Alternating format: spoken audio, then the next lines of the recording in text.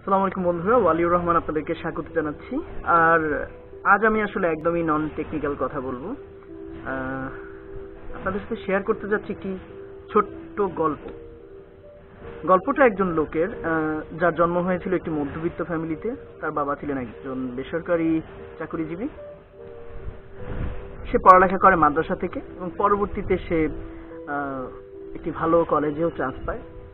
কিন্তু সেখানে আসলে তার পড়ালেখা খুব বেশি দিন কন্টিনিউ করা হয়ে ওঠে না। তার পরিবেশ আসলে খাপ খায় না, সত্যি কথা বলতে যেটা। পরবর্তীতে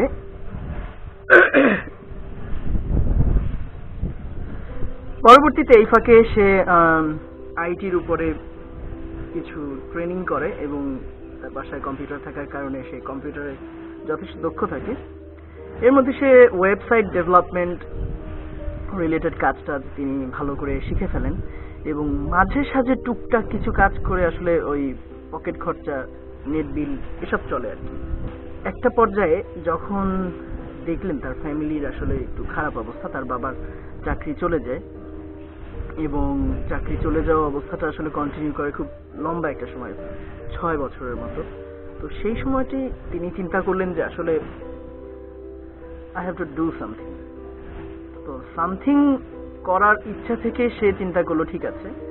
আমি যেহেতু ওয়েবসাইট ডেভেলপমেন্টের কাজটা জানি, আমি এটি একটু ভালোভাবে কন্টিনিউ করি। তো এর মাঝে সে একটি পড়ালেখার ব্যাপারে একটু চিন্তা ভাবনা করতে থাকল এবং চিন্তা ভাবনার আসলে তার ট্র্যাকটা ছিল অন্যরকম, কারণ সে সবসময় ভালোবাসতো বিমান এবং তার স্বপ্ন ছিল বৈমানিক হওয়ার। তার চোখের প্রবলেম থাকাতে সে আসলে কখনোই বিমান বাহিনীতে যোগ দেওয়ার চিন্তা ভাবনা করেনি। এটি ছিল তার অনেক বড় একটি আক্ষেপ। একটি পর্যায়ে সে যেটি চিন্তা করে যে আমাকে তো আসলে কিছু একটা করতে হবে। সে আসলে কিছু, অল্প কিছু, একদমই অল্প কিছু টাকা অ্যারেঞ্জ করে এবং তার বাবাকে বলে যে, বাবা, আমি অ্যারোস্পেস ইঞ্জিনিয়ারিং এ ভর্তি হব। তো বাবার প্রথম কথাই ছিল, গরিবের ঘোড়ারোগ ভালো না।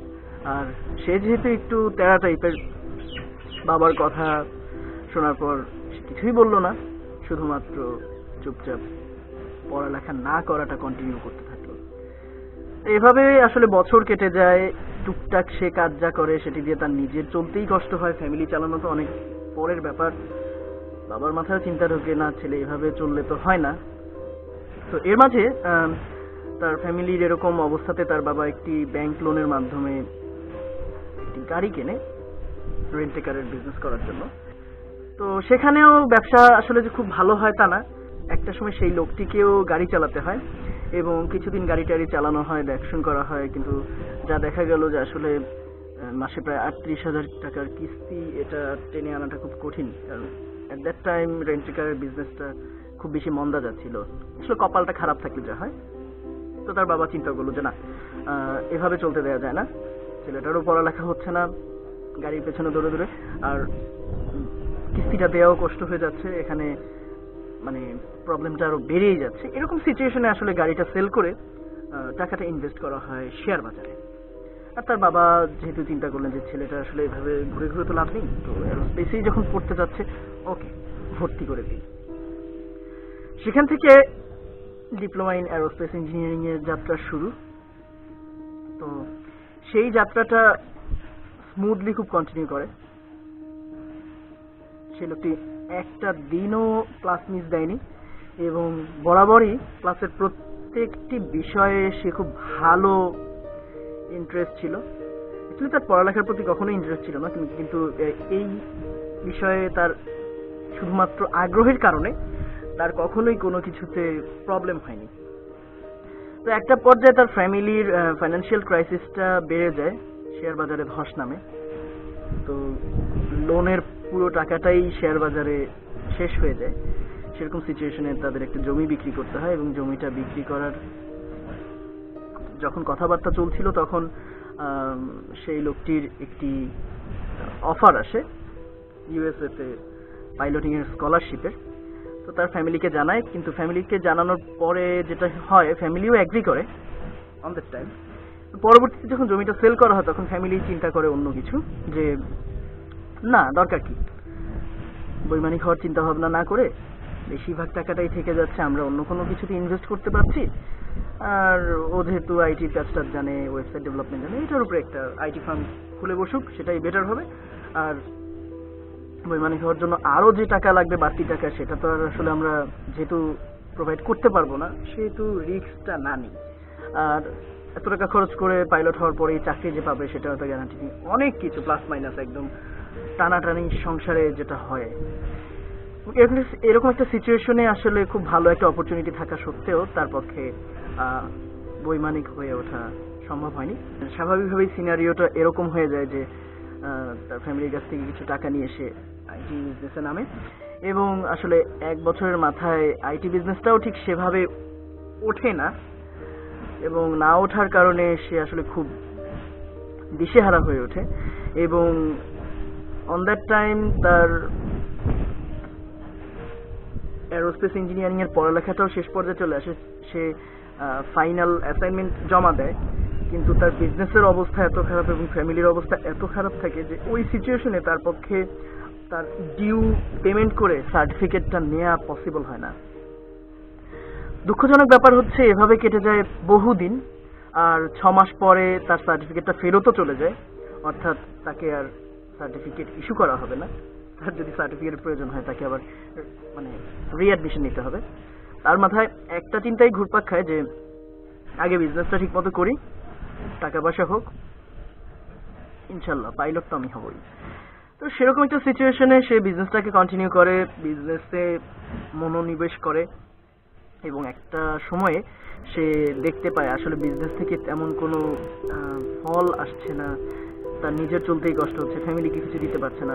এরকম সিচুয়েশনে ফ্যামিলি তাকে ভাবে যে অ্যাকচুয়ালি ছেলেটা মনে হয় উচ্ছনে টাকা ওড়াচ্ছে, দাও একে বিয়ে করে। ছেলেরও এ ব্যাপারে কোনো অমত ছিল না ফ্যামিলি চাচ্ছে বিয়ে করাবে, ওকে, ঠিক আছে। বিয়েটা করার পর আসলে দিন আরও কঠিন হয়ে গেল। তখন তো ড্রিমের কথা কিছুই না, তখন এভরিথিং ইজ রিয়েলিটি ওরকম সিচুয়েশনে কেউ আসলে তার এইম নিয়ে ভাবে না। সবাই ভাবে, দিন শেষে ক টাকা রোজগার করে এনে আমি বাড়িতে বাজার করতে পারছি কিনা, বউকে খাওয়াতে পারছি কিনা, মাকে দিতে পারছি কিনা দ্যাটস ইট এর মধ্যে বউ শাশুড়ির দ্বন্দ্ব তো চিরায়িত ব্যাপার। সেটিও লেগে থাকল সমস্যা পরে সমস্যা হতে থাকল, তার জীবন আরও কঠিন হতে থাকল। এরকম একটা পর্যায়ে তার একটি সন্তানও আসলো দুনিয়াতে। তো, কিন্তু তার অবস্থা কিন্তু খুব বেশি উন্নতি হয়নি। যেরকমটা ছিল সেরকমই টানা পড়নের সংসার। এবার সে আসলে চিন্তা করল, না, এভাবে বিজনেস চলতে পারে না। সে ভদ্রলোকের সাথে পার্টনারশিপ করল বিজনেসে এবং তারপর বিজনেসটা একটু একটু ওঠে, একটু একটু স্মুথলি চলে। কখনোই খুব হায়ার লেভেলে পৌঁছে যায়নি বিজনেসটা যেখান থেকে আসলে সবার কষ্টগুলো লাঘব করা সম্ভব। তো যাই হোক বিজনেসটা চলছে, চলে খুব ভালোভাবেই মোটামুটি। কিন্তু তার স্বপ্নগুলো পূরণ করা হয়ে ওঠে না। তো তারপর গল্পটা কোন দিকে যায়? অ্যাকচুয়ালি গল্পটা যদি কোনো মহান ব্যক্তির হতো বা কোনো বিখ্যাত ব্যক্তির হতো, গল্পটার রেজাল্ট তো অবশ্যই অনেক ভালো হতো, আপনারা বুঝতেই পারছেন। কিন্তু সত্যিকার অর্থে গল্পটা হচ্ছে আমার আমার নিজে দ্যাটস ওয়াই গল্পটা, গল্পটার পরবর্তী অংশ হচ্ছে বর্তমান। কি করছি আমি?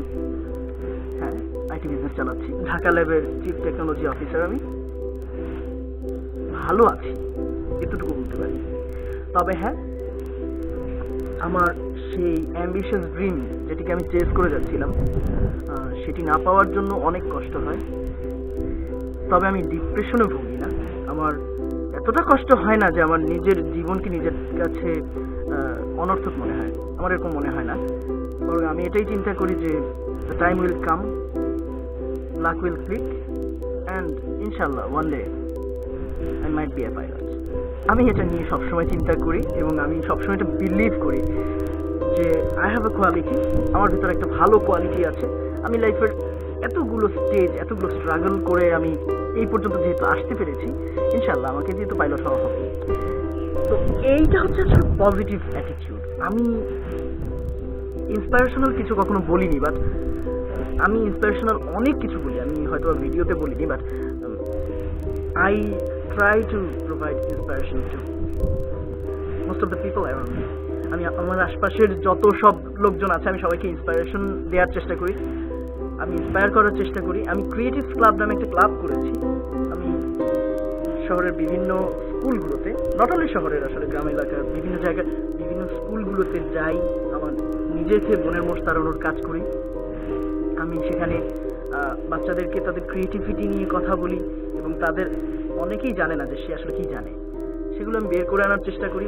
স্কুলগুলোকে উদ্বুদ্ধ করার চেষ্টা করি যে নট অনলি সাংস্কৃতিক কর্মকাণ্ড এনাফ এরকমই অনেক রকম ব্যাপার আছে যেগুলো হচ্ছে আমাদের এসেনশিয়াল তো ক্রিয়েটিভ ক্লাবের মাধ্যমে আমি সেটি করার চেষ্টা করি।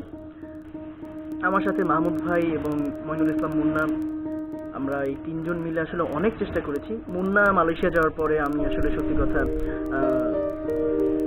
একদম একা হয়ে যাই, কারণ মাহমুদ ভাই খুব বিজি থাকেন আর আমি এখন এতটাই একা যে কাজগুলো চালানো আমার পক্ষে কঠিন। বাট আই বিলিভ আমি যেটা চিন্তা করছি বা আমি যেটি মিশন নিয়েছি সেটি ইনশাল্লাহ সাকসেসফুল হবে।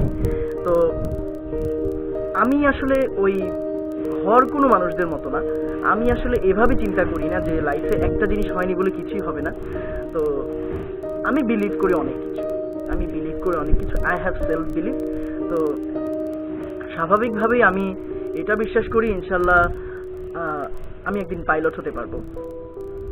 এবং এছাড়াও আমি বিলিভ করি যে আমার প্রতিষ্ঠান ঢাকা ল্যাব দেশের শীর্ষ আইটি প্রতিষ্ঠানের একটি হবে। এবং আমরা সারা ওয়ার্ল্ড ওয়াইড সফটওয়্যার এবং গেমস ডেভেলপমেন্টে ইনশাল্লাহ একদিন অনেক ডেভেলপ করব। আমরা ভালো কিছু করব।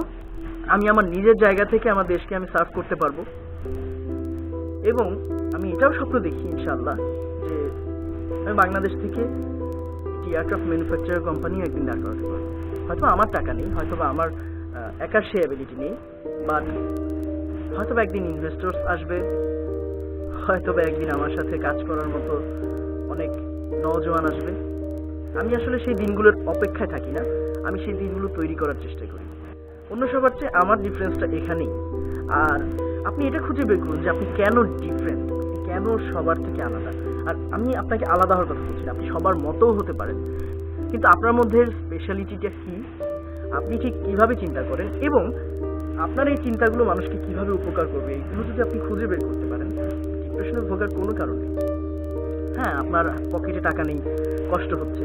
বিশ্বাস করবেন না, আমি ক্রিয়েটিভ ক্লাবের কার্যক্রম করতে মাঝে মধ্যে এমনও হয়েছে পকেটে চার আনা পয়সাও নেই। হেঁটে হেঁটে স্কুলগুলোতে চলে যাচ্ছি। অনেক কষ্ট হচ্ছিল। এটাই হচ্ছে কথা। আসলে ইন্সপিরেশন কেউ কাউকে দিতে পারে না। কারণ ইন্সপিরেশন কেউ কাউকে দিতে পারে না। যদি না আপনি ইন্সপায়ার্ড হন, আমি আপনাকে ইন্সপায়ার করতে পারি, কিন্তু you have to take action কাজ যেটা করার, সেটা আপনাকেই করতে হবে। সেটি কখনো কোনো ভিডিও বা কোনো পার্সন আপনাকে দিতে পারবে না। তো ওভারঅল আমরা যেটা সবসময় ভেবে আসি যে আমরা কিছু একটা করব, কিছু একটা করব, সবারই লাইফে হিরো হওয়ার একটা স্বপ্ন নট অনলি ফিল্মের হিরো আমি হিরো বলতে বোঝাচ্ছি রিয়েল লাইফ হিরো হওয়ার স্বপ্ন থাকে, যে জীবনে খুব ফেম কামাবে নেম কামাবে। আসলে এটা করা পসিবল ইটস নট ইম্পসিবল আপনার শুধু পজিটিভ অ্যাটিটিউড এবং অ্যাকশনের প্রয়োজন। আপনি পজিটিভ অ্যাটিটিউড আপনার ইন্সপাইরেশন আপনার ডেডিকেশন আপনার সব আছে but you not working it will not work তো আপনি যদি কাজ না করেন, আসলে এটা কোনোভাবেই কোনো রেজাল্ট আপনাকে দেবে না। দ্যাটস ওয়াই বেটার রেজাল্টের জন্য you have to do something আপনার চিন্তাটাকে কাজে পরিণত করতে হবে। তখনই আপনি পারবেন আপনার ইন্সপিরেশনগুলোকে বাস্তবে পরিণত করতে।